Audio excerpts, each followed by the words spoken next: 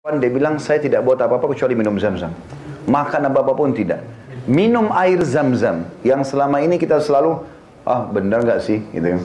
Bismillahirrahmanirrahim. Ada seorang wanita dari Jerman difonis kena penyakit kanker darah, eh, penyakit payudara maaf, dan ini kankernya sudah stadium sekian, dan ini juga fonisnya sama, tapi ini agak berbeda sedikit kasusnya. Dia dia orang Jerman Muslim dari di sana.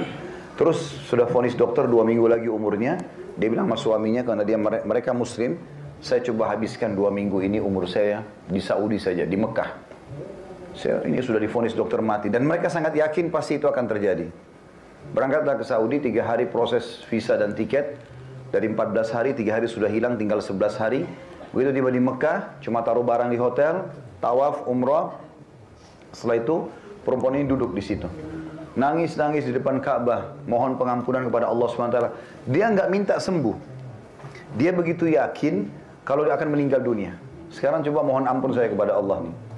Berjalan tiga hari, jadi dari 11 hari itu saya sudah tiga hari berlewat waktu lewat di Mekah. Maka ada seorang wanita pengurus uh, marbot masjid atau pengurus masjid itu perempuan pakai cadar dekati dia, terus ngobrol. Saya lihat ibu ini dalam berapa hari nangis terus.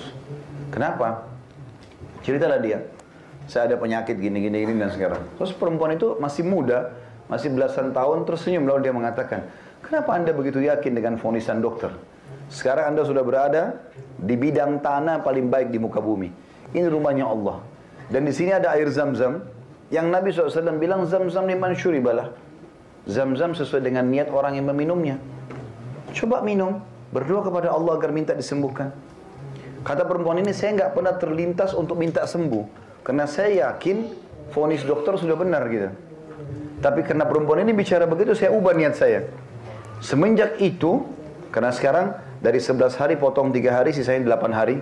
Semenjak itu, 5-6 hari ke depan, karena dia harus pulang menjelang waktu penentuan dokter itu, sekitar 5-6 hari ke depan dia bilang, saya tidak buat apa-apa kecuali minum zam-zam. Makan apa-apa pun tidak. Sambil berdoa kepada Allah agar disembuhkan.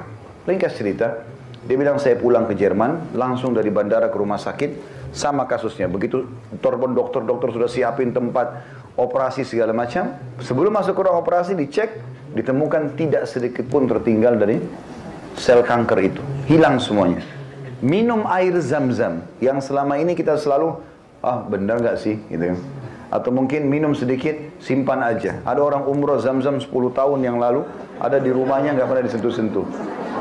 Padahal dia manfaatnya besar. Habis ya bisa beli lagi kan sebenarnya. Tapi mereka nggak paham masalah itu.